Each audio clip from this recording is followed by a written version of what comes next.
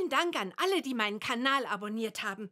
Wenn ihr künftig kein Hörspiel und keine Neuigkeit von mir verpassen wollt, aktiviert gerne auch die Glocke. Ich würde mich freuen. Eure Bibi Blocksberg. Bibi Blocksberg. Langsam wird es mir aber zu dumm. Das ist das dritte Mal, dass du die Hausaufgaben nicht gemacht hast. So geht das nicht weiter. Aber, aber ich musste, ich hatte so viel zu tun zu Hause und da. Papalapap. Ich weiß, was du zu tun hast. Auf deinem fliegenden Besen düst du die ganzen letzten Wochen mit Marita durch die Gegend. Und ihr denkt euch dauernd Schabernack aus. Jawohl, das ist es. Ich bin eben eine Hexe. Und Hexen sind nicht für die Schule geboren. Das Gefühl habe ich schon lange. Hier ist ein Brief für deine Eltern. Sie sollen bitte in die nächste Sprechstunde kommen. Und jetzt setz dich. Joscha, dein Heft bitte. Auweia, das hat gesessen. Ziemlich böse schaut sie aus, die Lehrerin. Und jetzt solltet ihr Bibi mal sehen. Sie hat die Hände vor der Brust verschränkt und macht ein Gesicht, als würde jeden Moment ein Gewitter losbrechen. Also so trotzig wie Bibi schaut nicht so leicht jemand aus. Kein Wunder, kleine Hexen sind nun mal so. Und was alles noch viel schlimmer macht, ist, dass die Lehrerin ja recht hat. Es macht Bibi wirklich viel mehr Spaß, auf ihrem fliegenden Besen Kartoffelbrei herumzubrausen, als über den Matheaufgaben zu sitzen. Gut, dass das die letzte Stunde ist. Bibi hat so schlechte Laune, dass sie niemand mehr sehen will. Keine ihrer Freundinnen. Auch Marita nicht. Hey, Bibi, warte! Renn doch nicht so! Lass mich in Ruhe! Bibi, was ist denn los mit dir? Nur weil die Huber dich angepflaumt hat? Wahrscheinlich stehst du auch noch auf ihrer Seite, was? Kann ich mir ja denken. Sie glaubt, ich verführe dich zum Streichespielen und du bist mal wieder die Liebe. Ist doch gar nicht wahr. Du bist echt zickig heute. Lass mich in Ruhe, hab ich gesagt. Such dir eine andere Freundin. Darauf kannst du dich verlassen, Bibi Blocksberg. Wir sind die längste Zeit Freundinnen gewesen. Schöne Freundin sowas. Pah! Verschwinde endlich! Bin schon weg, dumme Kuh. Zimtzicke! Mit Bibi ist heute wirklich nicht gut Kirschen essen. Ich bin ja gespannt, wie das weitergeht. Ein schwarzer Tag in ihrem Leben. So sieht's jedenfalls bis jetzt aus. Ob sie wohl nach Hause geht? Oder ob sie irgendwo in der Stadt rumbummelt? Nein, sie geht nach Hause. Schließlich muss sie ja doch den Brief der Lehrerin abliefern. Bibi, bist du es? Mmh, riech mal. Riecht das nicht lecker? Frisch gekochte rote Grütze. Die Beeren habe ich von Herrn Lustig aus seinem Garten gekriegt. Na, unsere sind ja noch nicht reif. Igitt, ich hasse rote Grütze. Was ist denn mit dir los? Hier, für dich, von deiner geliebten Lehrerin. Was ist das denn für ein Ton, Bibi? Und was ist das für ein Brief? Sie will wohl mit dir plaudern. Sicher ganz gemütlich bei Kaffee und Kuchen. Das sieht mir mehr wie eine Vorladung aus, meine Liebe. Hallo, da bin ich. Ist das nicht toll? Hab den Nachmittag freigekriegt. Endlich kann ich mich um das Hügelbeet kümmern. Ist ja auch schon Zeit. Na, nu, was ist denn hier für eine Stimmung? Deine Tochter hat für uns eine Vorladung in die Schule mitgebracht. Aha, wieder was ausgefressen? Das würde mich nicht wundern. Wer den ganzen Tag auf seinem fliegenden Besen herumschwirrt, der kann ja nur Ärger kriegen. Jetzt habe ich es satt. Endgültig. Ich ziehe aus. Niemand mag mich. Alle sind gemein zu mir. Die Lehrerin, Marita und jetzt auch noch ihr. Mir reicht's. Hast du gehört, Barbara? Deine Tochter will ausziehen. Hm. Wenn sie sich so blöd benimmt, ist sie eigentlich mehr deine Tochter, Bernhard. Barbara, ich muss schon sehr bitten. Jetzt schiebst du mir die Verantwortung zu, was? Wer ist denn den ganzen Tag zu Hause? Wer sollte sich um Bibi kümmern? Du doch wohl. Und was machst du? Dauernd kochst du deine Hexenrezepte und das Kind verwahrlost, jawohl. Sag das nicht noch einmal, Bernhard. Nun streiten sich auch noch die Eltern. Aber Bibi kriegt das schon gar nicht mehr mit. Wutschnaubend steht sie in ihrem Zimmer und schmeißt alles, was da gerade so herumliegt, in ihren Rucksack. Ein Buch, ihre Zahnbürste, den Schlafanzug, ihren Mini-Kassettenrekorder, die Benjamin Blümchen-Kassetten, Kaugummis, ein paar Bonbons. Und dann kriecht sie unters Bett, holt Kartoffelbrei ihren fliegenden Besen heraus und macht das Fenster auf. Ene mene Mai, flieg los, Kartoffelbrei. Los, was ist? Du bist wohl auch bockig, was? Magst mich auch nicht mehr. Oh, wäre ja auch kein Wunder. Ach, ich hab das Hex-Hex vergessen. Nochmal von vorne. Ene mene Mai, flieg los, Kartoffelbrei. Hex, Hex!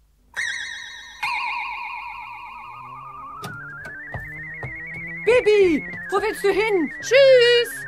Mich seht ihr nie wieder! Bibi, komm sofort zurück, sonst setzt es was. Bibi! Aber da ist Bibi schon hoch oben in der Luft und fliegt über die Baumwipfel. Sie macht immer noch ein finsteres Gesicht. Wo fliegt sie bloß hin? Zu Marita? Nein, bestimmt nicht. Und mit einem Rucksack? Will sie vielleicht in die Berge? Ach Mensch, ich bin so sauer. Ich bin so sauer, dass ich platzen könnte. Kartoffelbrei, gut, dass du wenigstens noch da bist. Aber du kannst ja auch nicht mit mir sprechen. Wo flieg ich denn nur hin? Wo flieg ich denn nur hin? Es ist schrecklich, wenn man so allein und verlassen auf der Welt ist. Keine Eltern mehr, keine Freunde. Also, Bibi, übertreib mal nicht. Das ist alles überhaupt nicht wahr. Aber wisst ihr, ich glaube, Bibi tut sich selber gerade so schrecklich leid, da kann man wohl gar nichts machen. Schließlich könnte sie ja einfach umkehren und nach Hause zurückfliegen, ihre rote Grütze essen, ihre Hausaufgaben machen, sich bei Marita entschuldigen. Also nee, einfach wegfliegen, das bringt es doch auch nicht. Das ist meine bescheidene Meinung. Naja, es vergehen zwei Stunden, drei Stunden, vier Stunden. Bibi fliegt noch immer durch die Luft. Und langsam wird es dunkel. Hm, dauernd so rumfliegen ist ganz schön langweilig. Und dunkel wird es auch schon. Mann, hab ich Kohldampf. Ich muss mir einen Landeplatz suchen und mir dann was zu essen hexen. Hm, Da unten. Das sieht nach einer verlassenen Scheune aus. Ob ich die wohl nehme? Ja. Ein Stückchen tiefer. Wir fliegen mal langsam rundherum. Ruckel nicht so, Kartoffelbrei. Da, guck, was für ein Glück. Das Scheunentor ist offen. Ene mene Brandung, Kartoffelbrei zur Landung. Hex, Hex! Ah, Da liegt ja jede Menge Heu. Schön weich zum Schlafen. So. Aua! Das piekt ja. Hey, halt! Wer ist da? Hast du mich erschreckt? Wer, wer bist du? Bist du, du bist doch, du bist doch gerade geflogen, nicht? Auf diesem Wuschel da. Das ist kein Wuschel. Das ist Kartoffelbrei. Kartoffelbrei? Dämlicher Name. Finde ich nicht. Steht ihm gut. Und du? Wohnst du hier? Wohnen? Kann man hier wohnen? Ich wohne nirgends mehr. Ich habe kein Zuhause. Kein Zuhause? Aber das ist ja schrecklich. Das ist ja fürchterlich. Du bist doch höchstens erst acht. Achteinhalb bitte sehr. Und ich heiße Tommy. Ich bin Bibi Blocksberg. Ich bin eine Hexe. Das habe ich mir gedacht. Aber eigentlich, ich meine, sowas gibt's doch nicht in echt. Nur in Märchen. Kneif mich mal. Fühle ich mich echt an? Aua! Nicht so doll. Hm, ja. Ich glaube, du bist echt. Was machst du hier? Ich, äh, ich habe einen Landeplatz gebraucht. Und irgendwo muss ich schließlich auch schlafen, nicht wahr? Dann bist du genau wie ich ohne Zuhause? Naja, ich habe schon eine Wohnung. Aber da wohnen meine blöden Eltern. Und in die blöde Schule will ich auch nicht mehr. Und meine blöde Freundin Marita hat mich geärgert.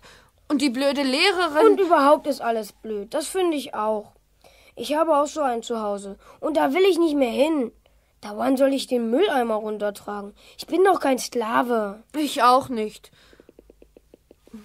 Du, Tommy, Hast du eben das Knurren gehört? Ja, und wie? Das war mein Magen. Ich hab tierischen Hunger. Ich auch. Soll ich uns was zu essen hexen? Oh ja, kannst du das? Und ob? Was möchtest du denn gern? Also, mh, am liebsten äh, Bratkartoffeln und Spiegelei. Ähm, und zum Nachtisch Vanillepudding. Hm, das mag ich auch. Ene Mene Mai, zweimal Bratkartoffeln, zweimal Spiegelei. Und dann noch Pudding, auch für zwei. Hex, Hex! Bitte sehr. Guten Appetit. Oh, wenn ich das nicht selber sehen würde. Probier doch mal die Bratkartoffeln. Toll. Schmecken so, wie meine Mami sie immer macht. Echt super. Meine Mami macht die auch immer so toll. Und Papi isst die auch gerne. Der Pudding. Wie bei Mami. Jetzt bin ich voll. Einen richtigen Kugelbauch. Ich auch. Und jetzt möchte ich in mein Bett. In dein Bett? Ja, am liebsten in mein Bett. Weißt du, ich habe ein rosa Schnuckelkissen und mein Teddy, der wartet bestimmt schon auf mich. Tommy, du weinst ja. Ja, weil ich nicht weiß, wohin ich gehen soll. Ich bin doch noch zu klein, um Geld zu verdienen. Und jeden Tag treffe ich auch keine Hexe. Und dann muss ich vielleicht verhungern. Das will ich nicht. Ja, das finde ich ja nicht so schlimm. Ich meine, für mich nicht. Ich könnte mir ja immer genug zu essen hexen und so. Aber mir fehlt. Ich meine, es ist keiner da, der einen abends zudeckt. Und Mami liest mir manchmal abends noch was vor vom Einschlafen. Und Papi gibt mir dann einen gute Nachtkuss. Und manchmal kraulen sie mir auch den Rücken. Das finde ich toll. Soll ich dir den Rücken kraulen? Ja, das wäre schön. Mache ich es gut? Toll. Aber du hast so kleine Hände. Papis sind viel größer und ganz weich. Weißt du, niemand auf der ganzen Welt kann so schön Rücken kraulen wie mein Papi. Du, Tommy, ich hab. Ich bin auf einmal so traurig. Ich auch. Ach komm, das ist doch Quatsch, was wir da machen. Bestimmt machen sich unsere Eltern Sorgen. Meine bestimmt nicht. Die waren heute ganz gemein zu mir. Nur wegen dem blöden Mülleimer. Ach, das haben die sicher schon wieder vergessen. Die kommen bestimmt halb um vor Angst. Ich weiß was. Komm mit, wir fliegen nach Hause. Erstmal zu mir. Meinst du auf deinem Besen? Ja, das wird doch toll. Du hast doch sicher noch nie auf einem fliegenden Besen gesessen, was? Nein, noch nie in meinem ganzen Leben. Äh, wie geht das? So, ich steig schon mal auf. Und du setzt dich hinter mich, wie bei einem Motorrad, weißt du? Und hältst dich an mir fest. So. Und jetzt geht es los. Das Scheunentor ist ja noch offen.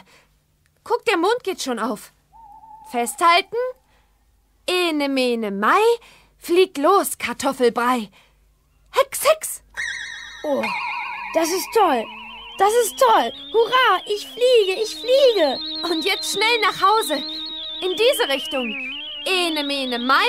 Dreh bei, Kartoffelbrei. Hex, Hex.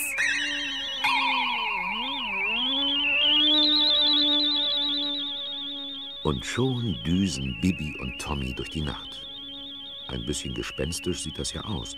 Zwei Kinder auf einem fliegenden Besen, im Mondenschein. Aber es ist ja einsam hier draußen und niemand bemerkt sie. Und da ist schon das Haus von Familie Blocksberg. In den Fenstern brennt Licht. Guck, sie sind noch auf, Tommy. Hey, schläfst du? Ich bin so müde. Ich auch. Aber wir sind schon da. Ene mene Brandung, fertig seid zur Landung. Das ist ja ein hübsches Haus. Ja, und der Garten erst. Ich hab da eine richtige Spielhöhle hinten. Komm, wir klingeln. Hoffentlich schimpfen sie nicht.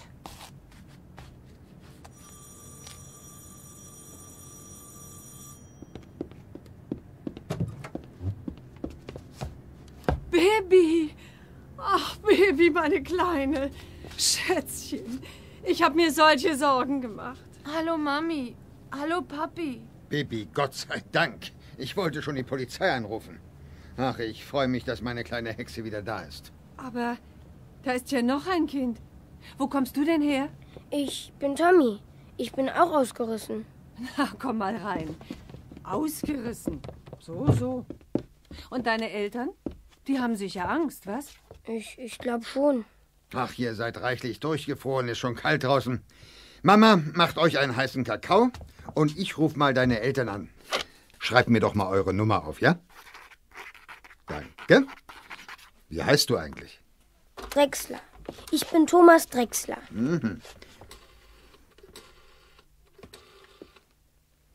Hallo? Ja, hier spricht Blocksberg. Ach, Sie haben schon die Polizei verständigt. Nein, ich bin nicht die Polizei. Aber meine Tochter hat Tommy eben mitgebracht. Sie brauchen sich keine Sorgen zu machen. Aber so hören Sie doch auf zu weinen. Hören Sie, er ist sehr müde. Ich denke, wir stecken ihn erstmal in die Badewanne und dann ins Bett und morgen früh bringen wir ihn vorbei, ja? Gut, gut, Frau Drechser. Wiederhören, ja, bis morgen. Tommy, ich soll dir sagen, du brauchst dir keine Sorgen zu machen wegen dem Müll runtertragen. Sie haben dich noch lieb. Da, da bin ich aber froh. So, hier ist der Kakao. Und das Badewasser läuft auch schon ein. Ja, und alles ist wieder gut. Bibi liegt in ihrem Bett, wird von Papa in den Schlaf gekrault und Tommy kriegt im Gästebett von Barbara Blocksberg eine Geschichte vorgelesen. Und damit könnte diese Geschichte eigentlich zu Ende sein, nicht wahr? Ist sie aber nicht. Sie fängt erst an. Schließlich sind wir ja mit Bibi Blocksberg zusammen. Und die hat noch vorm Einschlafen eine Idee. Und diese Idee träumt sie sogar. Und mit ihr wacht sie auf. Gut, dass heute Sonnabend ist. Das heißt, keine Schule und ausschlafen. Baby, na du alte Ausreißerin, es ist 10 Uhr, die Sonne lacht. Schön, dass du schon wach bist. Guten Morgen, Bibi. Hallo Tommy. Hallo Papi. Morgen, du Sorgenkind. Dein Ei ist noch warm, setz dich. Ach, ich kann gar nichts essen, glaube ich. Ich habe nämlich eine Idee. Oh, weia, Bibi hat schon wieder eine Idee. Barbara, setz dich her, du musst mich unterstützen. Eine typische Bibi Blocksberg-Idee? Na, hat was mit Hexen zu tun, stimmt's? Na, Ein bisschen. Ein bisschen. Ich habe mir was überlegt. Gestern, als ich ausgerissen bin, dachte ich, ich bin das einzige Kind auf der Welt, zu dem alle gemein sind. Und das von zu Hause weg will. Moment, Moment. Also wir waren gar nicht gemein zu dir. Lass Barbara, für Bibi waren wir eben gemein. Ich erinnere mich, dass ich früher auch immer gedacht habe, meine Eltern wären gemein zu mir und die ganze Welt gegen mich. Lass sie mal ausreden. Ja, und da habe ich gestern Tommy getroffen. Und der dachte dasselbe. Und bestimmt gibt es in unserer Stadt ganz, ganz viele Kinder, denen es auch so geht. Und wenn sie dann ausreißen, was passiert dann? Na, was soll schon passieren? Sie merken, dass es zu Hause am schönsten ist und kommen wieder. Und was passiert mit den Eltern? Ja, die machen sich erstmal jede Menge Sorgen und kriegen Todesängste. So wie wir gestern. Da denkt man, das Kind ist in den Teich gefallen oder unter das Auto gekommen oder sonst was Schreckliches. Hast du eine Ahnung, was man da plötzlich für furchtbare Fantasien kriegt? Eben. Was heißt eben? Ob meine Eltern sich auch so viele Sorgen gemacht haben? Haben sie. Die haben sogar sofort die Polizei verständigt, weil sie dachten, du hättest dich verlaufen und würdest nie wieder nach Hause zurückfinden. Also, ich meine, auch Kinder sollten mal die Möglichkeit haben, ein, zwei Tage wegzufahren, wenn ihnen einfach alles stinkt. Das finde ich gar nicht. Das ist doch aber ungerecht, Mami. Ich weiß noch, als Papi mal großen Ärger im Büro hatte und ihr euch deswegen dauernd gestritten habt, da hat er gesagt, er muss mal ausspannen. Und dann ist er zwei Tage zum Fischen gefahren. Und du, Mami, als das Haus fertig gebaut war und du total erschöpft warst und es gar nicht mehr aushalten konntest, da bist du zu deiner Freundin Lisa gefahren, damit du mal ein bisschen Abstand von uns kriegst, weißt du noch? Ja, ja, ich erinnere mich noch. Aber das ist ganz was anderes. Hm, ich weiß nicht. Ich glaube, Bibi hat irgendwie recht. Auch Kinder brauchen mal Abstand. Wie sollen sie denn sonst merken, dass es zu Hause wirklich am schönsten ist? Ja, aber ich verstehe immer noch nicht, worauf du hinaus willst, Bibi. Tommy, weißt du, was ich meine? Kann sein. Du meinst, Kinder brauchen einen Platz, wo sie hin können. Genau. Tommy ist viel klüger als ihr. Hm, Kinder können eben leichter begreifen. Erwachsene denken anders. Das ist ja das Traurige. Naja, jedenfalls gibt es doch hinterm Lerchenwald diesen verlassenen Bauernhof. Wisst ihr noch? Den Monis Eltern mal kaufen wollten. Aber er gehört der Stadt und die wollten ihn nicht verkaufen und auch nicht vermieten. Die wollten ihn behalten. Ja, die wollten sich was überlegen. Ein Ferienheim draus machen oder so. Gestern bin ich drüber geflogen. Der verfällt immer mehr. Da ist noch nichts passiert damit.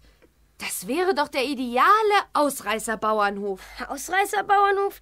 Das hört sich toll an. Aber der Hof gehört der Stadt. Und für so eine Idee sind die sicher nicht zu haben. Wer weiß, wer weiß. Ich will auf jeden Fall mal mit dem Bürgermeister reden. Mit dem Bürgermeister reden. Das kann Jahre dauern.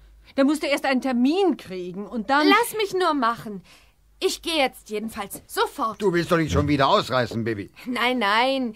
Ich will zum Bürgermeister. Ja, aber heute ist doch Sonnabend. Bürgermeister haben viel zu tun. Wetten, dass er im Rathaus ist? Ich will es jedenfalls probieren. Aber ich, ich würde gerne nach Hause, glaub ich. Mein Gott, Tommy, ja natürlich. Haben wir deinen Eltern doch versprochen. Soll ich ihn auf meinem Besen Baldrian nach Hause fliegen? Nein, nein, dreimal nein. Wir nehmen das Auto. Wir sind ganz normale Leute.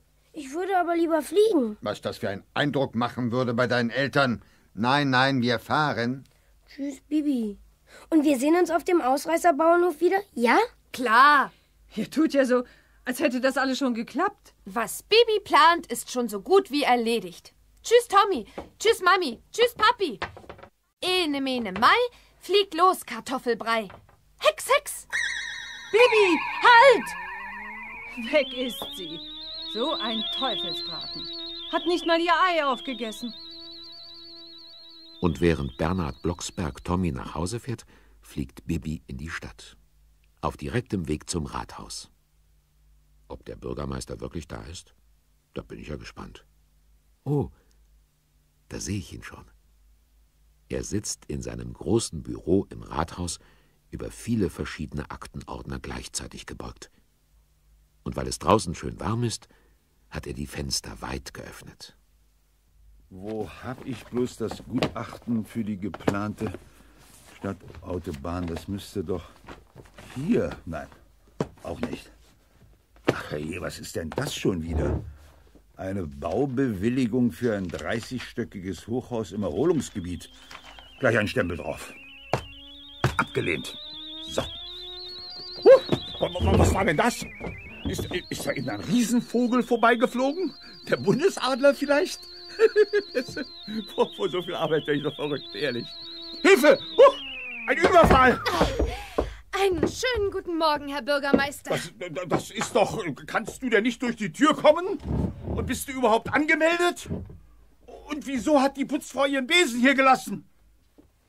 Hey, jetzt dämmert es mir. Dich kenne ich doch. Dich kenne ich doch. Bist du nicht diese. diese kleine Hexe, Bibi Blumsberg oder so ähnlich? Bibi Blocksberg. Ganz einfach. Blocksberg. Wie der Hexenberg. Erinnern Sie sich nicht mehr? Clari, weiß sie ich ihn nochi, als du mir noch diesen, diesen Sprachfehler angehext hast. Mhm. Mit dieser Zauberlimonade, kleine Hexidui. Wo habe ich denn die Akte Blocksberg? Hier. Siehst du, einmal finde ich was auf Anhieb. Ist das hier ein Wunder?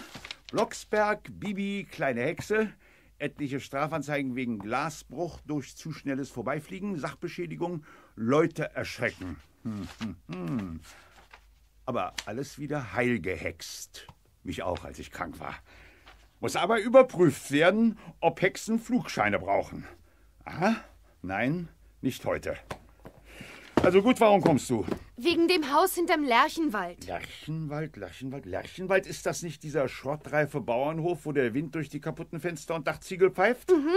Ja, da habe ich vor, eine Abrissgenehmigung zu erteilen. Nein, bitte nicht. Ich könnte ihn gut gebrauchen. Du? Gebrauchen? Das ist doch lächerlich. Und außerdem unmöglich. Ich darf den nicht verschenken. Der gehört der Gemeinde. Nicht verschenken, aber abreißen, was? Ich habe eine ganz tolle Idee. Wirklich. Hör mal, der wird abgerissen. Punkt, Schluss, basta aus. Herr Bürgermeister, als Sie ein kleiner Junge waren, Sie. Ich war nie ein kleiner Junge. Ich bin schon als Bürgermeister geboren. Na gut, gib's zu, ich war auch mal ein kleiner Junge. Und? Sind Sie da einmal von zu Hause ausgerissen? Ausgerissen, abgehauen. Also hör mal, eine Unverschämtheit. Ein Bürgermeister reißt doch nicht aus. Aber kleine Jungs und kleine Mädchen. Naja, eigentlich doch einmal. Aha, das waren noch Zeiten. Meine Tante Josephine hatte mich bis aufs Blut geärgert, weil sie unbedingt wollte, dass ich wollene Unterhosen anziehe. Das war damals so üblich, weißt du? Und die Dinger kratzten und kratzten. Ich hab das nicht ausgehalten. Und da habe ich eines Nachts. Da haben Sie eines Nachts Ihre Sachen gepackt und sind einfach in die weite Welt gegangen, nicht wahr? Ja. Woher weißt du das? Aber weit bin ich nicht gekommen. Eine Nacht habe ich in einer eiskalten Garage geschlafen und dann habe ich schreckliches Heimweh gekriegt nach Tante Josephine und ja, am nächsten Morgen bin ich nach Hause. Und Tante Josephine? Oh ja, der ging es schlecht. Die war halb krank vor Angst. Nein, kann es mir bis heute nicht verzeihen, dass ich ihr so viel Kummer gemacht habe in jener Nacht. Gott hab sie selig. Verzeih mir, Tantchen, noch nachträglich. Aha. Und immer noch gibt es viele Kinder, die ausreißen. So wie früher. Und die Eltern und Josephinentanten machen sich schreckliche Sorgen. Herr Bürgermeister, wollen Sie, dass Ihre Bürger sich Sorgen machen? Nein, selbstverständlich nicht. Sollen die Kinder eben zu Hause bleiben? Zu Hause ist es sowieso am schönsten. Aber manchmal muss man einfach weg, damit man das auch weiß. Und deswegen brauche ich ganz dringend einen Ausreißerbauernhof. Wie bitte? Ja, einen Ausreißerbauernhof. Ist doch ganz einfach. Das verstehe ich nicht. Wieso denn? Wozu denn? Ach, Herr Bürgermeister, Sie sind schwer von Begriff. Wie redest du denn mit mir? Na, ist doch wahr. Erwachsene kapieren alles so langsam. Also, wenn es den Ausreißerbauernhof gibt, ist das dann so. Wenn ein Kind ausreißen will, und das will jedes Kind mal, dann schnürt es seinen Rucksack oder was weiß ich, und dann, dann legt es heimlich einen Zettel auf den Küchentisch, auf dem steht, bin ausgerissen. Zum Ausreißerbauernhof. Und dann? Blöde Idee. Nein, tolle Idee. Weil die Eltern oder Josephine-Tanten sich dann keine Sorgen machen brauchen. Weil jeder in der Stadt dann weiß, dass ich auf dem Ausreißerbauernhof bin und mich um die Kinder kümmere. Du, du bist doch selbst noch ein Kind. Aber ein Hexenkind. Das ist doch wohl ein Unterschied. Allerdings. Hm.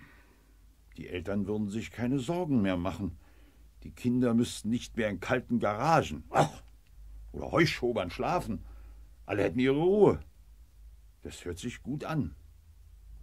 Aber dieser Bauernhof hinterm Lerchenwald, der ist doch total heruntergekommen. Natürlich, ist doch gut so.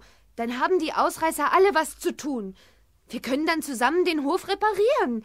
Von oben bis unten. Abdichten, einrichten, basteln, bauen, werkeln. Ja, das hört sich sehr gut an. Sehr gut.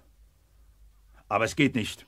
Ach, und warum nicht? Weil, weil, weil, weil, weil sowas noch nie da war. Da muss ich doch erst ein Gutachten wegen Bauzustand und ein Gutachten von der Jugendfürsorge und eine Kommission über für und überhaupt nicht. Ja, natürlich eine, eine außerordentliche Sitzung und ein Extratermin, nachdem das Gutachten vorliegt, um darüber abzustimmen. Und dann. Ach, das ist alles sehr bürokratisch. Bürokratisch heißt das. Aber haben Sie in Ihrer Wahlrede nicht gesagt, dass Sie alles unbürokratisch oder wie das heißt regeln wollen? Ja, schon, aber das war vor den Wahlen. Soll das heißen, dass Sie nach den Wahlen Ihr Versprechen nicht halten? Nein, nein, nein, nein, nein. Nicht direkt, aber Sachzwänge. Du verstehst. Ich verstehe gar nichts. Ich verstehe nur, dass Sie wollen, dass sich die Erwachsenen Sorgen machen. Und dass die Kinder nicht wissen, wohin sie sollen, wenn sie die Nase voll haben. Gut.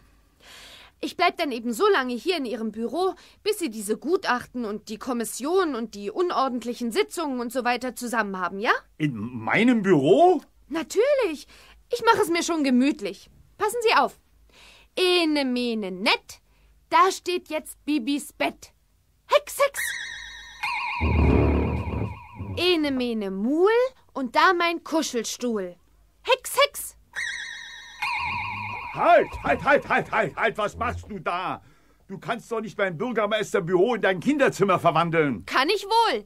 Ene, mene, meine und da Holzbausteine. Hex, Hex!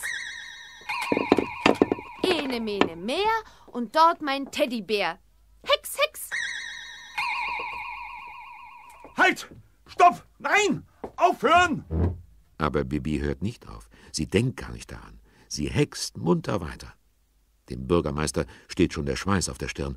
Und wirklich, es sieht jetzt in seinem Büro aus, genau wie in Bibis Kinderzimmer.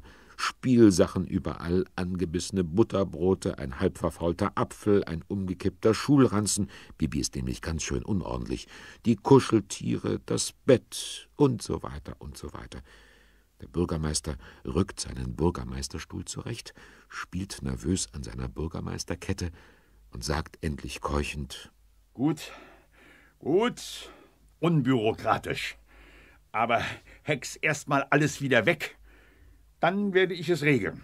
Du kriegst den Bauernhof und meine Erlaubnis und alles, was du willst. Nur verschwinde von hier. Aber gern. Ene, mene, Moor, alles wie zuvor. Hex, Hex! Gott sei Dank. Ist bei meinen Akten noch nichts durcheinander gekommen? Nicht mehr als vorher. So, also dann werde ich mal. Äh, Moment noch, Moment noch. Wie ich dich kenne, gehst du doch sicher damit zur Zeitung, nicht wahr? Hm. Wenn du vielleicht freundlicherweise erwähnen könntest, dass das alles meine Idee war. Nein, kommt nicht in Frage. Aber ich kann ja erzählen, dass wir beide uns das ausgedacht haben. An einem gemütlichen Sonnabendmorgen. So, komm, Kartoffelbrei. Los. Tschüss, Bürgermeisterchen. Bis bald. Kommen Sie uns mal besuchen auf dem Ausreißerbauernhof. Ene, mene, Mai, fliegt los, Kartoffelbrei. Hex, Hex! Endlich. Wo ist denn die Akte Blocksberg? Da schreibe ich noch was dazu. Äh, ja, äh, setzt den Bürgermeister unter Druck, verwandelt Büro in Kinderzimmer. Ah, nee, das lasse ich lieber, sonst fragt sich vielleicht später mal jemand, wieso ich mir das habe gefallen lassen. Das frage ich mich allerdings auch. Und während der Bürgermeister noch vor sich hin brubbelt, landet Bibi schon auf dem Dach vom Pressehaus. Sie klettert durch die Dachluke, klemmt sich Kartoffelbrei unter den Arm und wandelt durch die langen Gänge, bis sie an eine Tür kommt, hinter der lautes Schreibmaschinengeklapper zu hören ist. Und an der Tür klebt ein Schild. Carla Kolumna, Reporterin. Und war auch dieses Theaterstück im kleinen Haus des Volkstheaters wieder ein Reinfall erster Güte, der dem unfähigen Schauspieler Otto M. Quack und dem noch unfähigeren Regisseur Gustav Schmierbühne zu verdanken war. Äh, ähm, das Stück war wirklich miserabel. Ich habe die ganze Zeit geschlafen. Huch! Hallo, Frau Kolumna. Bibi, hast du mich erschreckt? Du hier? Das gibt ja wohl eine extra Ausgabe heute Abend, was? Die Theaterkritik kann ich auch später weiterschreiben. Wieso wissen Sie denn das, Frau Kolumna? Na, hör mal. Wenn du oder Benjamin Blümchen, unser sprechender Elefant, hier hereinschneien, dann gibt es doch immer nur Sensationen. Also los, raus mit der Sprache. Gut, Frau Kolumna. Dann schreiben Sie, ich diktiere. Sensationeller Beschluss. Heute gefasst vom Bürgermeister und von Bibi Blocksberg. Der Lerchenwald Bauernhof wird zum Ausreißer Bauernhof umgewandelt. Unter der Aufsicht von Bibi Blocksberg finden dort ausgerissene Kinder und Jugendliche Aufnahme für ein bis zwei Tage. Einzige Bedingung ist, dass die Kinder. Und Bibi diktiert und diktiert. Und Carla Kolumna schreibt und schreibt und hat bald ganz rote Backen. So toll findet sie Bibis Idee. Und dann rennt Carla Kolumna bis in die Druckerei, denn schließlich muss die Sonnabend-Abend-Extra-Ausgabe noch rechtzeitig fertig werden. Und das wird sie natürlich auch. Bernhard, ich habe gerade eine Extra-Ausgabe vom Abendblatt in der Hand. Hör mal, da steht was von einem sensationellen Beschluss unseres Bürgermeisters und von Bibi Blocksberg. Meine Tochter. Und meine. Hör zu. Äh, unter der Aufsicht von Bibi Loss, wir finden dort ausgerissene Kinder und jugendliche Aufnahme für ein bis zwei Tage. Einzige Bedingung ist, dass die Kinder sich verpflichten, den Eltern einen Zettel auf den Küchentisch zu legen, auf dem nur ein Wort steht. Ausreißerbauernhof. Dann bräuchten die Eltern nur ein bis zwei Tage zu warten und die Kinder kämen nach Hause zurück. Na sowas. Bibi hat es geschafft. Meine Tochter. Ich hab's ja immer gesagt. Und meine, wenn ich bitten darf. Guten Abend. Das ist ja toll, Bibi. Hier, das in der Zeitung. Großartig, wirklich. Gut, ne? Ja, die Eltern sind wirklich stolz auf ihre Bibi, dass sie das geschafft hat. Am Montag nach der Schule fliegt Bibi sofort zum Lerchenwaldhof. Ja, wen hat sie denn da hinten mit drauf auf ihrem Kartoffelbrei? Ist das nicht Marita? Aha. Die beiden haben sich also wieder versöhnt, habe ich mir ja gedacht. Wäre ja anders auch ziemlich blöd.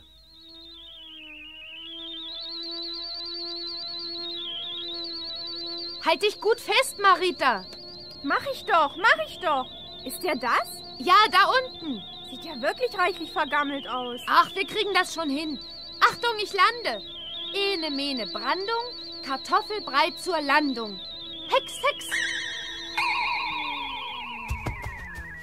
So, da wären wir. Hm, schön ist es hier. Und die gute Luft. Mann, wo fangen wir jetzt bloß an? Ich weiß schon. Erstmal neue Ziegel für das Dach. Ah nein, das geht ja nicht. Warum denn nicht? Weil so feste Sachen, die immer bleiben sollen, nur sieben Tage halten, wenn sie gehext werden. Dann müssen wir die Ziegel eben verschieben. Aber Werkzeug können wir uns hexen. Das brauchen wir ja nicht lange. Und ich kann es immer wieder neu hexen. Guck, Bibi, da stehen noch Farbtöpfe. Die sind echt. Prima. Los, wir fangen einfach mit Streichen an. Ene, mene, Insel. Wir brauchen schnell zwei Pinsel. Hex, Hex. So, einen für dich, einen für mich. Los geht's! Und Bibi hext noch für sich und Marita Anstreichklamotten. Und dann legen sie los. Bibi ist natürlich besonders schnell. Sie steigt einfach auf ihren Besen, hält den Pinsel an die Mauer und lässt Kartoffelbrei ganz langsam fliegen.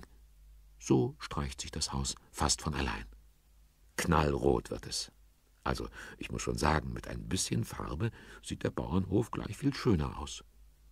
Und so arbeiten die beiden jeden Nachmittag bis zum Wochenende. Das Haus ist ein richtiges Schmuckstück geworden, obwohl noch viel daran zu tun ist. Aber Material ist genug da. Von Vater Blocksberg haben sie inzwischen neue Ziegel bekommen und von Maritas Eltern ein bisschen Geld für noch mehr Farbe und für Teer, um die Ritzen in der Mauer zu dichten. Was jetzt noch fehlt, das sind einfach Arbeitskräfte. Also weißt du, Marita, eins verstehe ich nicht. Was denn? Bisher ist noch kein einziges Kind zum Ausreißerbauernhof gekommen.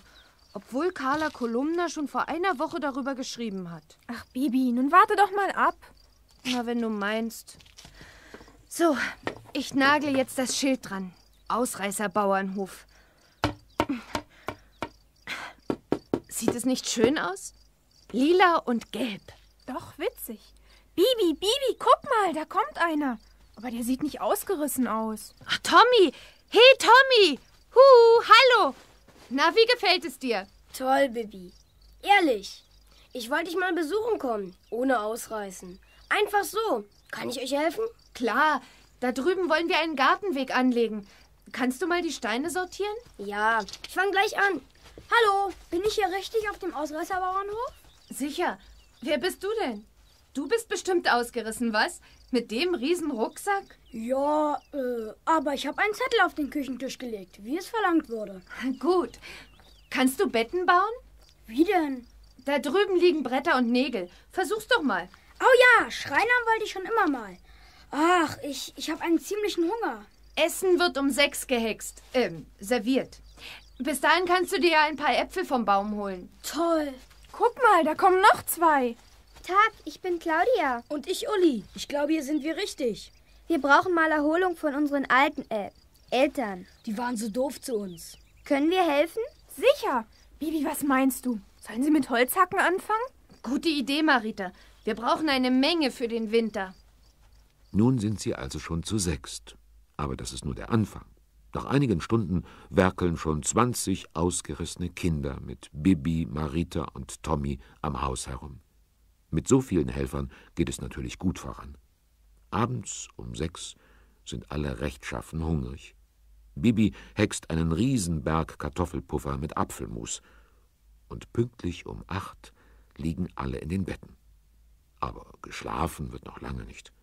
Bibi liest Gespenstergeschichten vor, Marita spielt Clown, Tommy spielt auf seiner Flöte, und später erzählen sie alle durcheinander, was bei ihnen zu Hause so los ist. Tja, und am nächsten Morgen geht es nach einem leckeren Frühstück weiter. Basteln und bauen und werkeln und umgraben, bis um zwölf Uhr plötzlich ein paar Autos den Waldweg herunterkommen.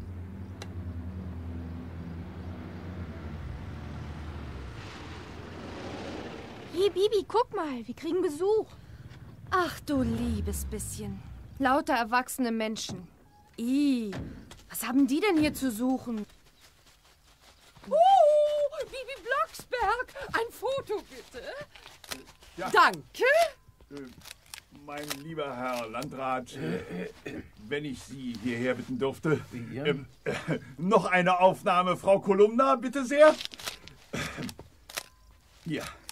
Hier sehen Sie also das neueste Projekt unserer Stadt, den Ausreißerbauernhof, den ich unbürokratisch heute seiner Bestimmung übergeben möchte. Ach, das ist sehr interessant. Ach, der Bürgermeister, er kann's nicht lassen. Sind alle gleich, diese Politiker. Sagt meine Mama auch immer. Und jetzt werden wir mit einer Flasche Sekt, die wir an der Tür zerschlagen, den Ausreißerbauernhof für eröffnet erklären. Wunderbar, Herr Bürgermeister. Wunderbar. Dankeschön. Und jetzt noch ein Foto mit Bibi. Wenn es ja unbedingt sein muss. Äh, Hier zu meiner Linken die kleine Hexe Bibi Blocksberg, die gemeinsam mit mir in tagelangen Besprechungen die Idee zu diesem Projekt entwickelt hat. Gar nicht wahr. Zehn Minuten hat's gedauert. So sieht es nach mehr Anstrengung aus. Äh, noch ein Foto, bitte. Ja, danke. Äh, so. Und wir verabschieden uns wieder. Sehr beeindruckend, Herr Bürgermeister. Wirklich ein Beispiel fortschrittlicher Sozialarbeit. Äh, Mein Glückwunsch, Herr Bürgermeister. Danke, danke, mein verehrtester, danke. Ich glaube, die spinnen. Ärgere dich nicht, Bibi. Erwachsene sind nun mal so. Außerdem lesen sie gerne was Aufregendes in der Zeitung. Weiß ich ja, Frau Kolumna. Aber einfach so reinschneien. Hier ist Erwachsene nämlich der Zutritt verboten. Ach, das ist ja sehr interessant. Das muss ich mir sofort notieren für meinen Sensationsbericht. So, und jetzt lasse ich euch allein. Viel Spaß noch. Ach, da möchte man ja auch noch mal Ausreißer sein. Hey, Herr Bürgermeister, warten Sie doch. Könnte man nicht auch mal einen Hof für ausgerissene Erwachsene ins Auge fassen? Halt! Ich will auch noch mit. Manu, gut, dass die wieder weg sind. Unsere schöne frisch gestrichene Tür stinkt von dem Sekt. Uns ist Limo lieber, was? Kommt, wir hexen uns jetzt Limo. Ene mene Wachparade. Hier steht ein Krug voll Limonade. Hex, Hex! Hm, lecker. Danke, Bibi. Noch mehr. Oh, bin ich durstig. Ja, auch noch. Ich will noch was ab. Gib mir auch noch was. Ja, es ist wirklich toll auf dem Ausreißerbauernhof, und er wird von Woche zu Woche schöner. Immer mehr Kinder kommen aus der Stadt und aus der Umgebung. Nach einer Weile wird noch ein Gartenhaus dran gebaut und die Scheune abgedichtet. Ihr seht, alles hat sich zum Guten gewendet. Übrigens, Bibi macht ihre Hausaufgaben inzwischen wieder. Jeden Tag, sehr ordentlich. Und ganz ohne Hexen. Das findet sie doch besser. Und so ist die Lehrerin auch nicht mehr sauer auf Bibi. Und sonst? Sonst ist, wie so schön heißt, alles in Butter. Sogar die Maiskolben, die Bibi und ihre Ausreißerfreunde vom Nachbarbauern geschenkt gekriegt und die sie in großen Töpfen gekocht haben. Noch jemand ohne Maiskolben? Noch jemand ohne Maiskolben? Ich brauche noch mehr Butter. Ich auch. Butter will für noch mich. Mais. Danke. Mal, ich Ich sag's essen. ja immer. Ene mene Mutter, alles ist in Butter. Hex, Hex!